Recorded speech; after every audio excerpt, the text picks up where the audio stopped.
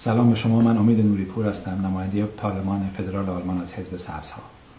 من اصولا زیاد به زبون فارسی ویدیو پخش نمی کنم برای اینکه خب شغل من وکالت و نمایندگی مردم آلمان و اصولا این به زبون آلمانیه. ولی ریشه ایرانی دارم که نه فراموش می‌تونم بکنم نه فراموش خواهم کرد. و به خاطر این ریشه وظیفه منه نه فقط وضعیت ایران رو به آلمانیا توضیح بدم و بلکه صدای مردم ایران رو به مردم آلمان برسونم و صدای مردم آلمان به مردم ایران برسونم.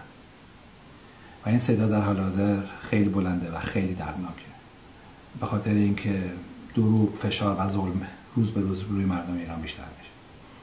در نتیجه وظیفه ما به عنوان حزبای دموکراتیک در آلمان در اروپا در جهان همبستگی و پشتیبانی با مردم ایران.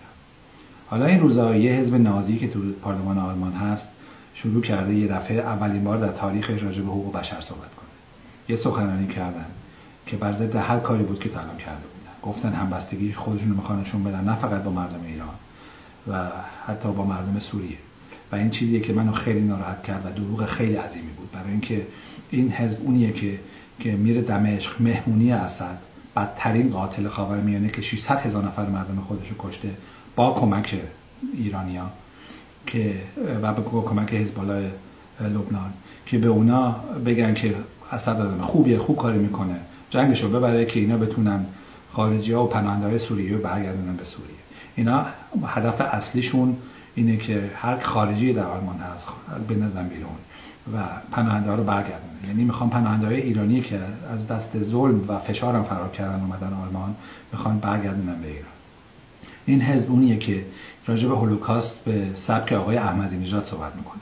میگن هولوکاست چیز بزرگی نبود زیاد مهم نبود. این کشتن 6 میلیون یهودی زیاد مهم نبود. این حزب نازی نه فقط نظر من نازیه حتی دادگاه آلمان هم میگن که اینا میشین بهشون بگیم نازی برای اینکه هدفاشون همون هدفایی که هیتلر داشته همون هدفهای نازی در این لحظه خیلی مهمه که حرفای اینا رو ما باور نکنیم و گولشون رو نخوریم مردم ایران ده ها ساله که بهشون دروغ گفته میشه. ظلم خیلی عظیمه و خیلی مهمه که این دروغ رو که نازی رو ما دیگر باور نکنیم. ما این دیدن این حرفا اینا برای من خیلی دردناکه ولی دردناکترین چیز حقیقت رو بخواید ها نیستن در حال حاضر.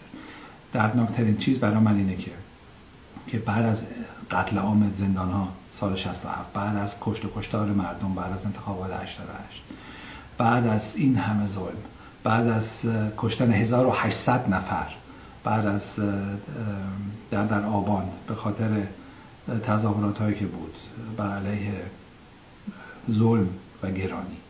بعد از کشتن بیگونه ها در هواپیمای اوکراینی.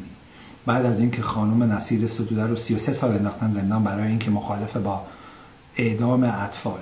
بعد از اینکه سمیر رجبی رو میگن جاسوسه به خاطر اینکه می‌خواد به یوز پلنگا برسه که اونا هم کشته نشن در ایران.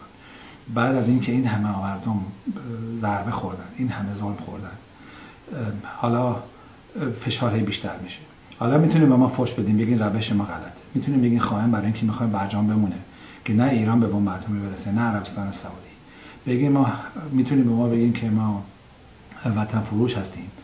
برای اینکه میریم با رؤسای نظام صحبت می‌کنیم. نه برای اینکه نمکشون رو بخوریم.